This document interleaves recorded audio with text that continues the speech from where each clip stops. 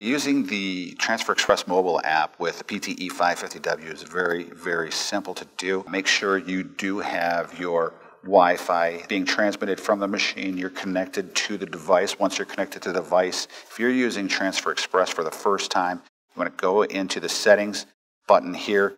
Make sure you select which printer you want to use. Once the printer is selected, then just select which database you want to send over to the machine. You can do that by clicking the one that you want or tapping the one that you want, highlighting that spreadsheet, selecting that Transfer Express app. Select OK.